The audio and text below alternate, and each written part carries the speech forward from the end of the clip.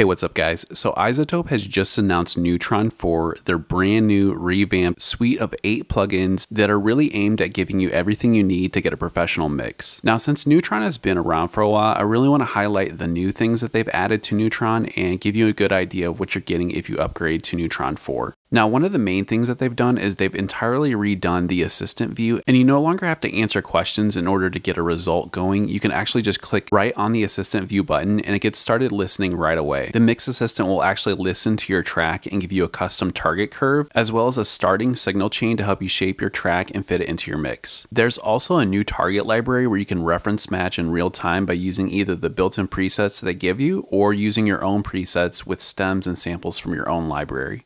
And for the other things that they've added, they've added an unmask module to Neutron 4 that discovers and fixes masking issues for you, enabling you to reach new levels of clarity with your mix. And then last but not least, this is probably my favorite update to Neutron. We have new intent-based controls in the form of punch, distort, and width. They're these really graphically pleasing controls along the bottom of Neutron 4's new assistant view that help you quickly make big sonic improvements to your individual tracks. So that's an update of all the new big features that they've added to Neutron Neutron 4. I want to jump into this project though and show you how I'm using Neutron 4 to actually mix and shape my individual elements in my own productions. Okay, so I have this track here that I'm working on called Around the Sun, and it's really this EDM track that is very bass heavy and has a really nice sizzling sub that I've created and crafted with Neutron 4.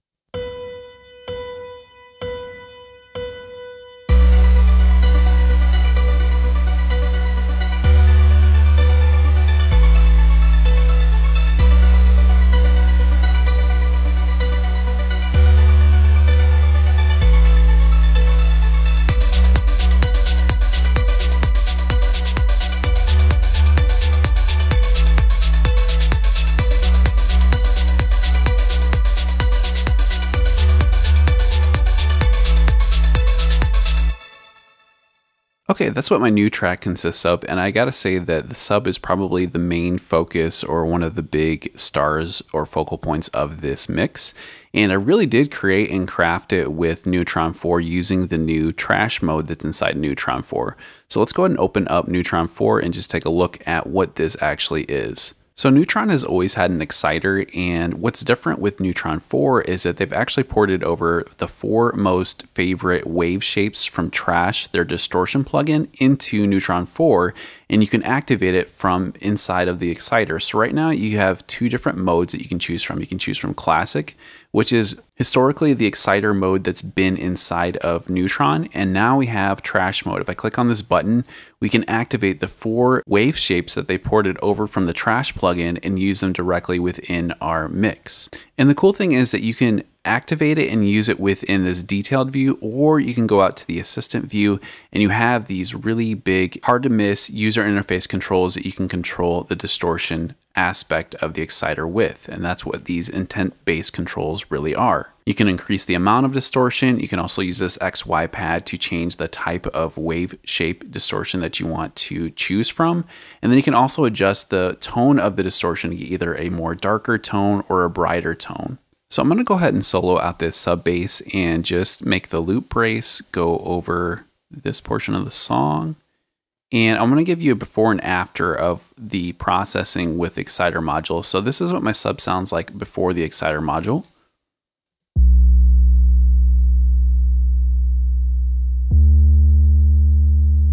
And then this is after.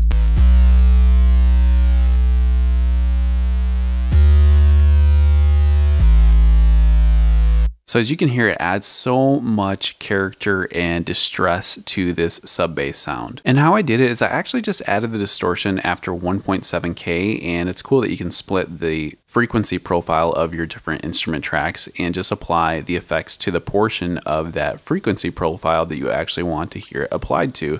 So all the bass at the low end is unaffected while the top end has this nice sizzle with the trash module. And like I said, you can explore the different wave shape distortions that they have chosen from trash and you can really hear the different flavors that came from trash and are now incorporated into the exciter module. So I'm to go ahead and play this back and let's just hear what these different flavors of distortion actually sound like.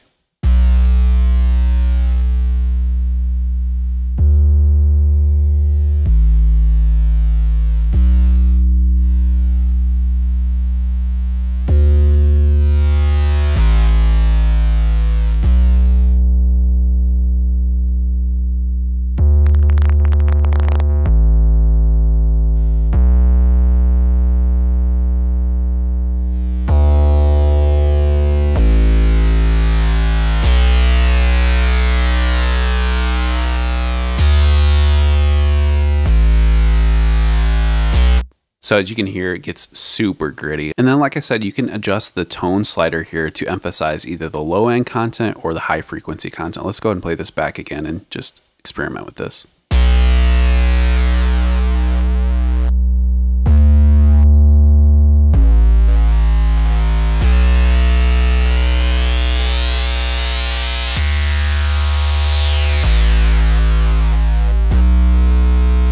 Okay, let's take a look at the other two intent-based controls. And I'm actually going to look at the next element in my mix, which is my ARP that I made with Massive X using the charge expansor. Let me go and close out of Neutron 4 on this track and then just open it up on the ARP track. Okay, as you see below, we have these other two intent-based controls called punch and width.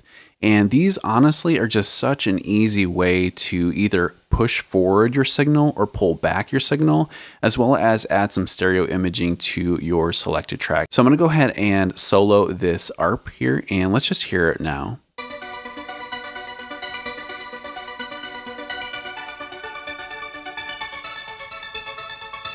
And specifically for this ARP track, I want to add some stereo width to my overall sound. So what I'm going to do is I'm going to play it back and then just explore and see what this sounds like and how I add some stereo image within the mix.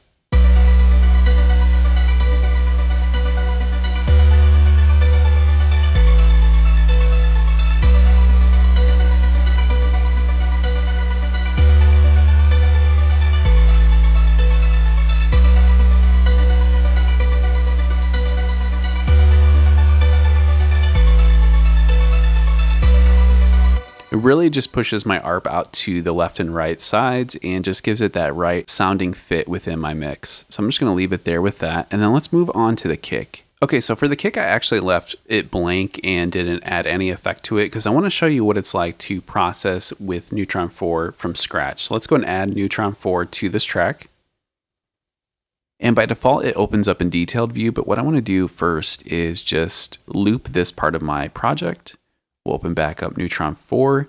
And now when we click on the assistant view, it's immediately going to start listening to our kick and apply a target curve to the kick, as well as give us a signal chain as a starting point for processing the sound of our kick. So I'm going to go ahead and play this back and then click on the assistant view to start getting a result.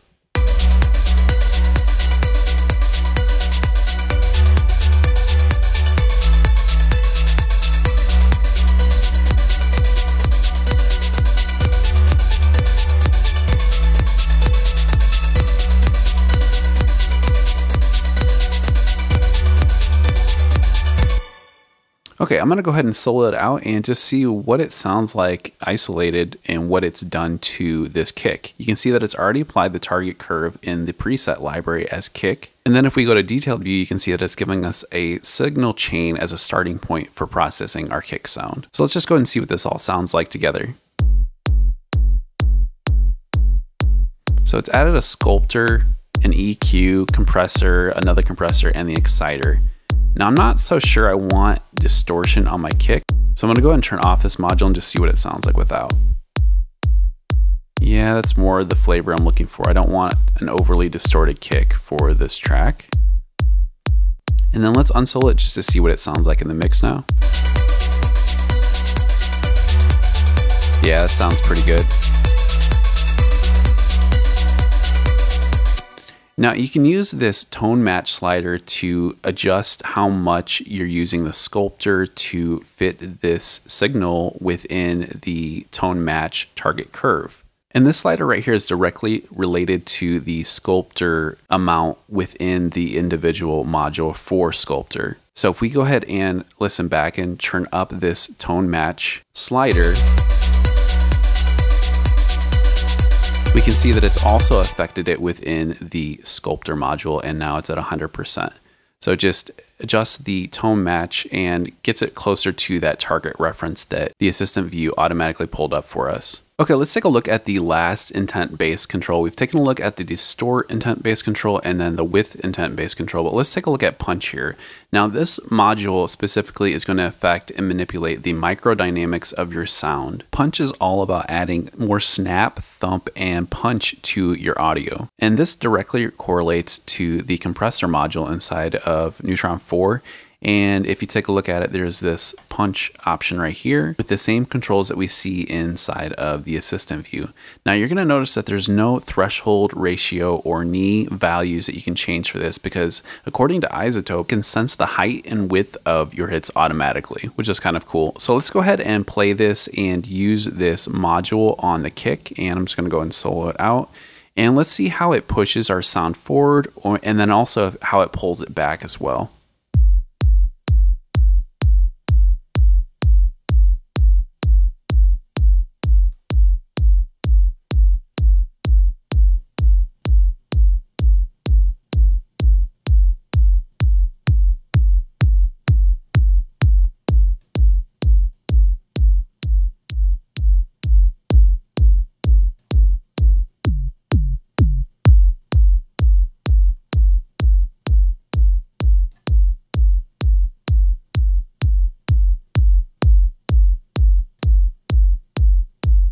It's just a nice way to really manipulate those microdynamics to get you closer to the sound that you're actually looking for. And let's hear it back in the mix now.